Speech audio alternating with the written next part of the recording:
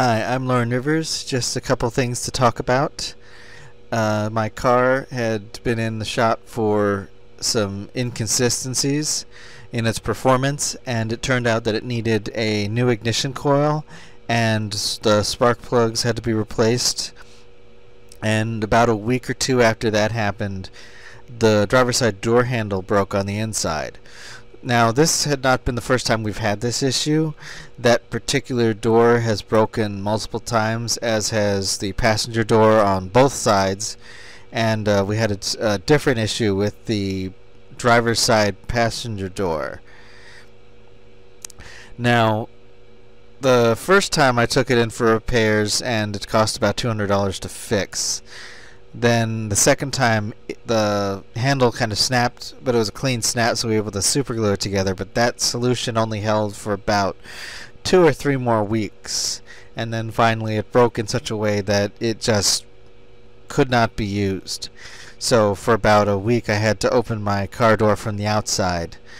But you know, for whatever reason, the company decided to use plastic parts designed to look like metal for the door handles, which basically results in us having to get it either super glued or fixed every two to three years since I've owned this vehicle. But it's back to working order now, so hopefully it'll stay that way for a while. And if you've seen the memorial video, you know I uh, lost a friend of ours recently.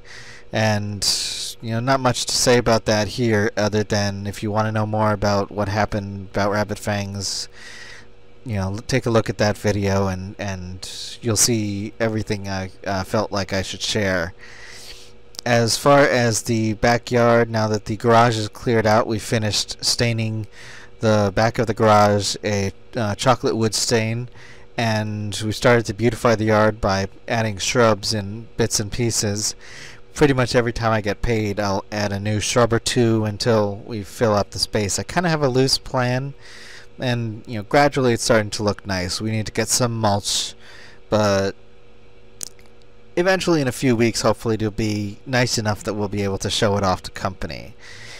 And uh, as far as uh, as far as work, I have a slightly different schedule now. They asked me to slide my schedule back a half an hour. It works for me because I have more time in the evenings and afternoons when I really need the time to be useful. So you know that works out for me. I get to leave a little bit earlier and and you know change my schedule to match.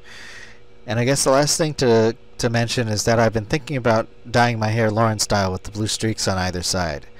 I have never done it before. I hear it's not too complicated, but from what I've determined, I need to also lighten my hair first so that it takes the dye well.